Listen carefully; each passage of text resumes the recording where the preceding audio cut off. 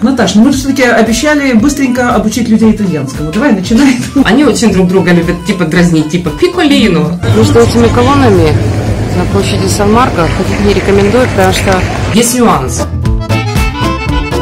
Бонжорно, дорогие друзья. Я Наталья Дуброва. А почему обязательно бонжорно? Может быть, и бонусера. Откуда ты знаешь, в какое время нас будут смотреть? Бонусера. Я Татьяна Комарова.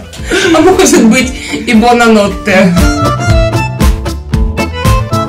Видео мы вам расскажем, как почувствовать себя, ну, немножко своим в Венеции, ну и вообще в Италии. Вы увидите кадры красавицы Венеции и, кстати, даже сможете немножко подучить итальянский язык. Но если вы не собираетесь в Италию, ну тогда вы сможете, может быть, ну, блеснуть перед друзьями и познаниями в итальянском языке. Если это вам тоже не интересно, ну, И вы случайно, да, к нам зашли. тогда Риведерчи. Это первое итальянское слово мы уже выучили. Кстати, посчитайте, сколько в этом видео будет итальянских слов.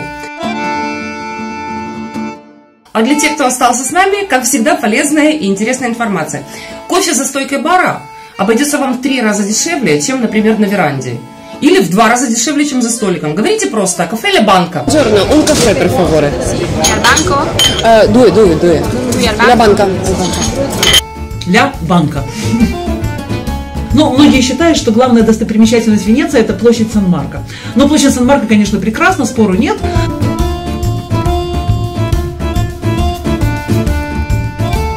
Еще мост Риальто вот считается такой топовой достопримечательностью. Все бегут туда первым делом. Ну да, ну это тоже все очень красиво. Но вот э, у нас с Наташей сложилось немножко другое мнение. Вот нам кажется, что все-таки самая прекрасная Венеция – это Гранд-канал.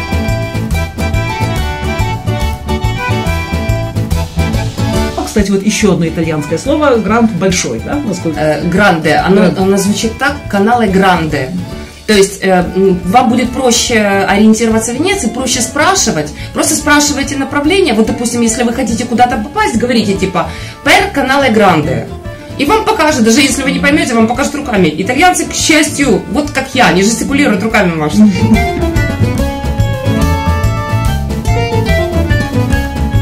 Ну и, конечно же, гондолы. Но мы уже говорили, что покататься на гондоле, конечно, удовольствие не очень дешевое, но даже если вы не, не имеете возможности на ней покататься, просто ими любоваться, это, конечно, наслаждение.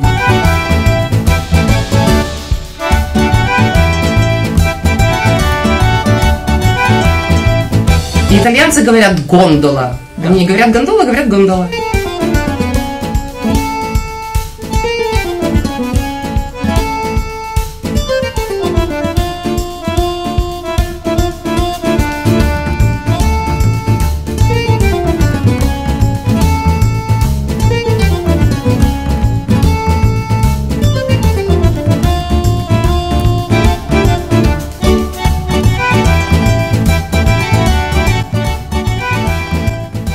Все-таки, вот, допустим, первый раз, если едешь в страну, вот как лучше всего спланировать, что тебе в первую очередь посмотреть?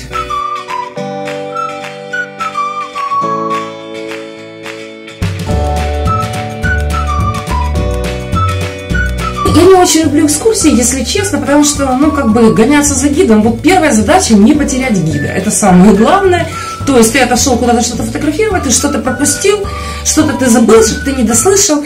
Я всегда делаю как? Я беру путеводители. И когда ты потрудился уже, что-то прочел о том месте, где вот ты находишься, у тебя гораздо больше, мне кажется, в памяти откладывается. Да, запоминаешь намного лучше, чем когда просто вот на слух и бегая за гидом. Между этими колоннами на площади Сан-Марко ходить не рекомендую, потому что очень много отрицательной энергии здесь. Здесь раньше казнили людей, причем массово. Сейчас там продают сумочки, магнитики, ну, разный туристический хлам, скажем так. Этим колоннам более трех тысяч лет. До конца ну, не установили еще точный возраст. У меня, допустим, из, э, из хотелок осталась в Венеции. Вот музей Каррер, этнографический музей. Это я даже прочитала в путеводителе. Это музей Каррер, вот сейчас прямо.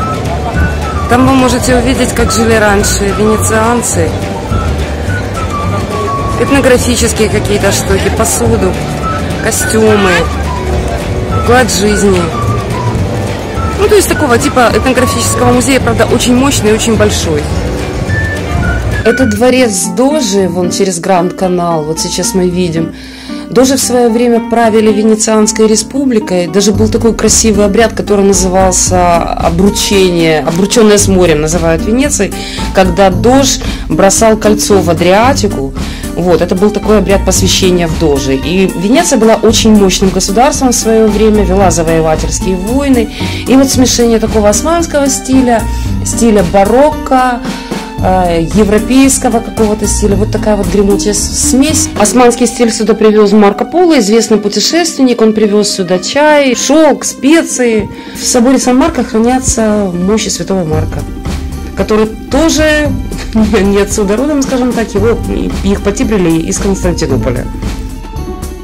Ну, кстати, тоже в путеводителе можно прочитать, что можно сделать очень интересные поездки из Венеции на острова, которые рядом находятся с Венецией. Это остров Мурана, это остров Чикладуов, да, там вот. Да, да, да. Да, это, ну, как бы очень тоже красивое такое местечко, это целый островок, где живут и работают стеклодувы, вы сможете увидеть, как они это все делают. Купить красивые украшения себе из стекла, если... Да, не дешевые украшения, но очень красивые. Вот, потом островок Бурана, это э, остров разноцветных домиков. У нас, кстати, было видео об этом острове, и там, там мы объясняем, вот почему там все крыши, все домики разноцветные. Да, мы ссылочку оставим. Вот, ну и остров Сан-Микеле, это остров кладбище, остров такой вот красивый. Да, где похоронен у нас Бродский, где похоронен Стравинский, Дягилев. У нас вот об этом было недавно видео.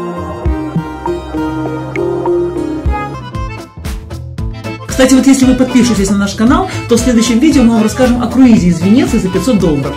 Да, вот такой вот недорогой круиз мне часто очень пишут в комментариях, что типа уникальная цена. Да ерунда. Эту уникальную цену сможете найти и вы, и сможет найти любой, потому что мы расскажем, как, где искать, когда покупать, и расскажем все секреты, как сэкономить в круизе. Так что подписывайтесь, вы не пожалеете.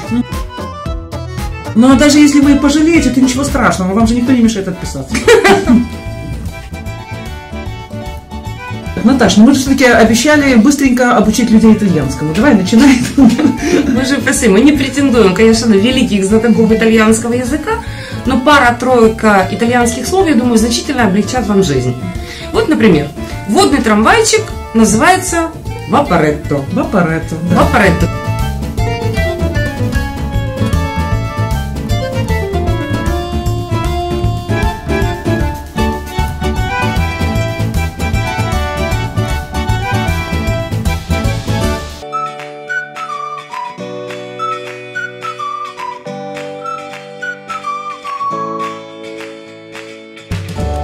Остановка там водного трамвайчика, ну даже и не водного трамвайчика, называется фермата. Если вам нужно купить билет, билет это бильетто. А, билеты во множественном числе это бильетти. А если вам нужно спросить следующую остановку, спрашивайте просто просима фермата. То есть просима следующая. Кораблик, допустим, Ланаве.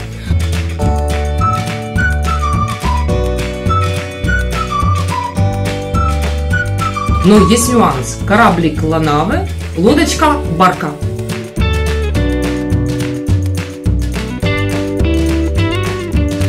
Ну, самое простое море – это Маре.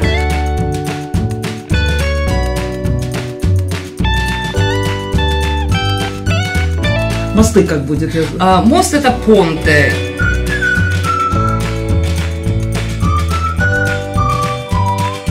Из самых известных мостов, ну, Понте Риальто, то есть если вы спросите Пер э, Понте Риальто или просто Пер Риальто, я думаю, вам покажут многие, даже туристы.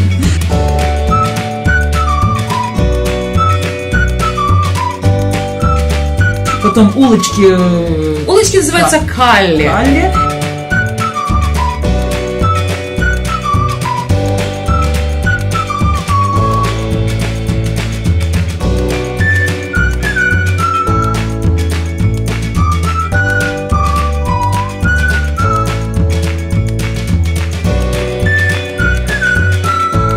Такая штука. В Венеции всего одна пьяца. Ну вот площадь – это пьяца Сан-Марко. А остальные, вот площадь Рима – это пьяцалия. Ну, то есть, типа... Поменьше. По поменьше. У нас в русском языке, по-моему, даже нет такого аналога. А у сейчас... Площадочка. Пла площадочка или кампо. Вот кампо – это буквальный перевод э, луг. Еще очень смешное итальянское слово, мне очень нравится. Малыш, пиколино. Они очень друг друга любят, типа, дразнить, типа, пиколино. Церковь по-итальянски кьеза или базилика. Ну, базилика это собор. Церкви, кстати, соборы в Венеции, ну вообще в Италии удивительной красоты.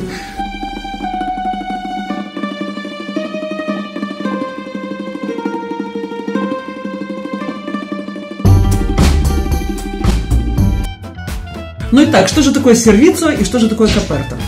Сервицио это коперта, или коперта это сбор типа за обслуживание. Вот те чаевые, вот которые, вот допустим, они автоматически, скажем так, начисляют вам. И вы можете это увидеть в счете. Если не включено сервицио или коперта, то принято оставлять 10% на чай. А если включено, то не нужно оставлять. А если включено, то в принципе не оставляют. Есть слова очень простые, там латинские корни, поэтому вот язык очень близкий, вот как ни странно. Ну что, я надеюсь, что итальянский язык с нашей помощью вы уже выучили. Я надеюсь, на такие итальянского снисходительно отнесутся к нашему, так сказать, уроку итальянского языка. Но для путешественника я вам хочу сказать пара-тройка слов, самое то и будете чувствовать себя в своей тарелке. И чтобы не потерять это видео, я бы на вашем месте поставила лайк, оно у вас да, останется в понравившихся, и вы сможете его пересмотреть. И повторять итальянские уроки. От Натальи Дубровой и Татьяны Комаровой. Шутим. И ярких вам путешествий. Ариведерчи. До новых волнующих встреч. Чао.